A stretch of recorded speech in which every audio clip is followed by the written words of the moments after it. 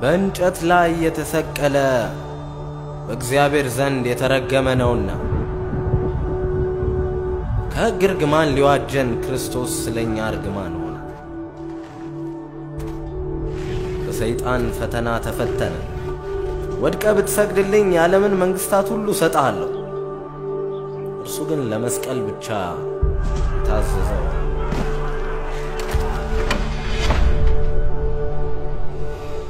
የሰላሳ ስምንት ዓመት በሽተኛን ደግፈው አቁመው የፈወሱ እጆቹ ዛሬ ለመቸንከር በእንጨት ላይ ተጋደሙ። በአናጺነት ሙያ የሚያውቀው እንጨት ዛሬ መስቀል ሆኗል።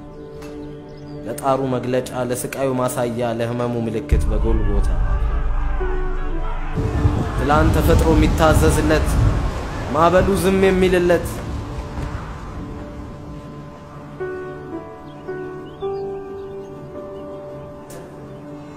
ዛሬ ግን ተዋርዶ በመስቀል ላይ ቢያዩት ቀኑም ቀኑን ለቆ ከአገር ጥሎ ሸሸ። ጨለማም ያለ ሰዓቱ ድንገት ከተፋል።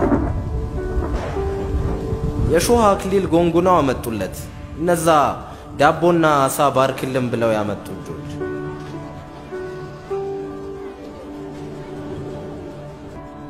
ትላንት በረኞች በሰባ ሰገል እንኳን ተወለድክልን የተባለ ሕፃን ዛሬ ግን ሁሉ ተፈጸመ፣ መቃብር ተዘጋ፣ በማኅተም ታተመ።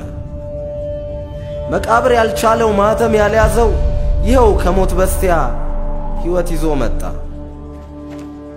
እምባንም ከፊት ሊያብስ በተቸነከሩ በሁለት እጆቹ የተፍገመገሙትን የደከሙትን ሊያነሳ ያግዝ።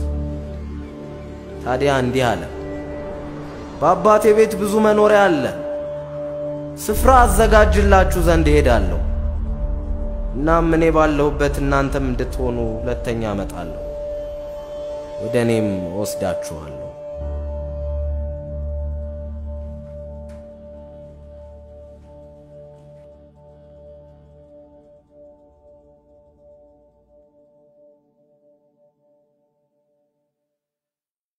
ኢየሱስ ክርስቶስን የሕይወቱ አዳኝና ጌታ አድርገው መቀበል ከፈለጉ ይህንን ጸሎት አብረውን በመጸለይ ወደ ሕይወቱ እንዲጋብዙ እናበረታታለን።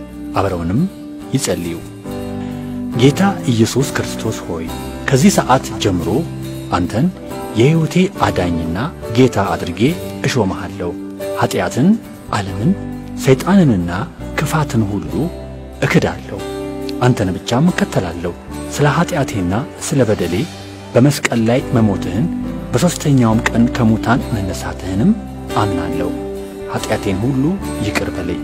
ስለ ተቀበልከኝና ይቅርም ስላልከኝ አመሰግንሃለሁ። እግዚአብሔር ሆይ ልጅህ ስላደረግከኝ አመሰግንሃለሁ። በጌታ በኢየሱስ ስም አሜን። ይህንን ጸሎት ለመጀመሪያ ጊዜ አብረውን ከጸለዩ አቅራቢያው ወደሚገኝ ቤተ ክርስቲያን በመሄድ እርስዎን ሊረዱ የሚችሉ አገልጋዮችን እንዲያማክሩ እናበረታታለን። ወይም ደግሞ እኛን ስክሪኑ ላይ በተጠቀሱት አድራሻዎች በመጠቀም አሊያም በግንባር ቦሌ ብራስ አካባቢ በሚገኘው የመማፀኛ ከተማ ቤተ ክርስቲያን በመምጣት ሊያገኙን ይችላሉ። ጌታ ኢየሱስ ይባርኮት።